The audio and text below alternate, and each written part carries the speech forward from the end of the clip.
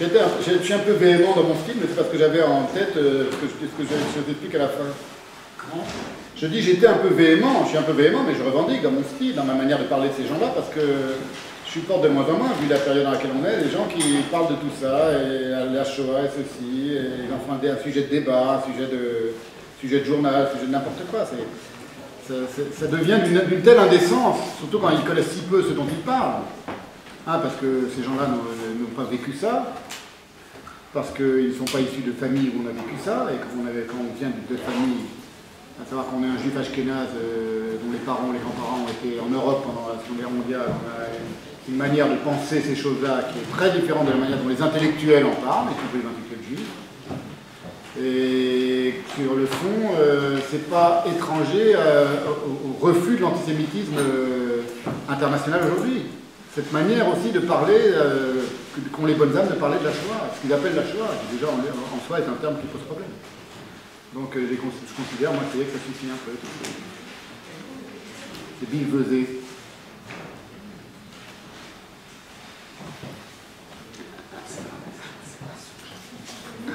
Moi, il y a un point qui. Vous avez. Ah, bah, oui, on va- des questions, sauf si vous ne voulez pas apparaître à la caméra, mais comme on a la caméra, on en profite. Je vous écoute. Oui, c'est mieux. Après, pour les gens qui vont écouter la, la conférence, ce sera mieux. Allez-y. Vous avez utilisé le mot véhément pour parler de votre, comment dirais-je, Oui. votre sincérité. Merci. Voilà. Moi, je voudrais dire, en tant que je ne suis pas connaisseur comme vous de la pensée de Heidegger, mais j'aime le lire. Je l'ai rencontré il y a peu de temps. Et je me rends compte que maintenant, justement, il est difficile d'aborder, même avec des professeurs de philosophie, la question de Heidegger sans qu'aussitôt, justement, la véhémence s'installe. La mauvaise véhémence. Ah, la mauvaise Ah oui. véhémence. C'est quelque chose de très difficile à vivre parce que justement il y a une obnubilation au sens, vous appeliez certains un synonyme de langue, une obnubilation au sens latin du terme, hein, un nuage épais qui, nous entoure tous, de part dans les médias, euh, bon, sur, une image fausse, justement, puisque personne ne veut lire Heidegger, et que tout le monde lit les articles de Roger Paul Droit ou, ou écoute Michel Onfray, etc. Alors, est-ce que vous partagez ce désarroi? Est-ce que quelqu'un peut me dire comment vous faites pour réagir vous? Parce que si vous vous dites véhément, moi aussi, et c'est difficile, parce que c'est difficile de faire face à, euh, comment dirais-je, à des non, à de non-lecteurs. Ça me fait penser à une.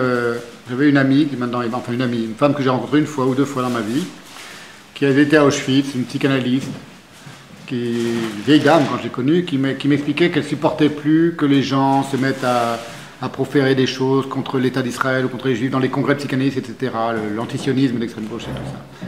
Et je lui ai dit, euh, j'étais pourtant beaucoup plus jeune qu'elle, mais je lui ai dit, vous savez, il ne faut pas se laisser emmerder, il faut montrer les dents. Il faut montrer. Montrer les dents, c'est ce que j'appelle ma véhémence. C'est que quand on est face à la bêtise brute d'un type qui va se calfeutrer derrière un philosémitisme de façade, pour moi c'est un nazi. Oui, oui, oui. oui. C'est la même chose. C'est- un peu ce que, ce que tendait à, à démontrer cette conférence sur le mode de la pensée. Il est ensorcelé. On n'a pas à se laisser emmerder par un type qui va nous expliquer ce qu'il y a dans Heidegger. Moi, dont ma famille a souffert intimement du nazisme, c'est pas ni un Roger Paul Droit, ni un Emmanuel Faye, ni un Peter Travy qui vont m'expliquer que depuis 15 ans, je lis et j'admire, je me nourris d'un nazi. C'est lui le nazi, c'est celui qui dit qu'il y est, comme dit ma petite fille de 5 ans et demi à la- à la- à la- à la- à la- à- dans la cour de récré. Moi, je sais reconnaître un nazi d'un non-nazi quand je le lis, quelle que soit la langue, quel que soit le texte, quelle que soit la, biographie du mec.